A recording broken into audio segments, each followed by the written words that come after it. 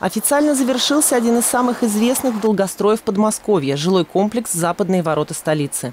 Строительство здесь началось еще в 2001 году. С тех пор дважды менялся застройщик, и несколько сотен дольщиков так и не получили свои квартиры.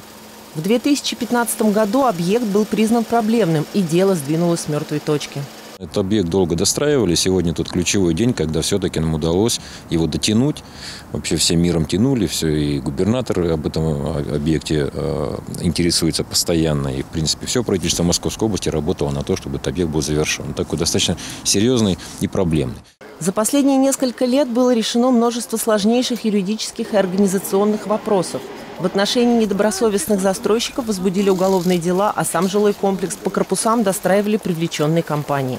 На рабочей встрече с участниками долевого строительства подписали акт итоговой проверки двух 33-этажных корпусов и в ближайшее время квартиры получат еще 366 собственников.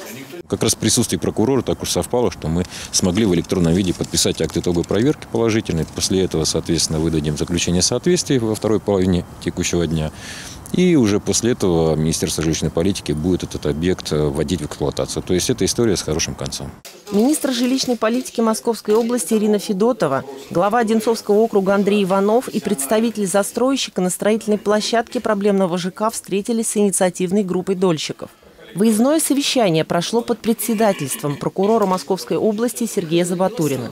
На нас лежит обязанность э, обеспечить реализацию тех э, мероприятий, тех дорожных карт по восстановлению прав этих обманутых людей, для того, чтобы э, эта проблема ушла далеко в прошлое. И мы всем инструментарием прокурорского реагирования участвуем в восстановлении нарушенных прав граждан, обеспечении их жилищных прав. До 18 ноября застройщик получит акт технического присоединения домов к сетям водоснабжения. После этого объект будет введен в эксплуатацию и дольщикам выдадут долгожданные ключи. Полина Толмачева, телекомпания «Одинцова».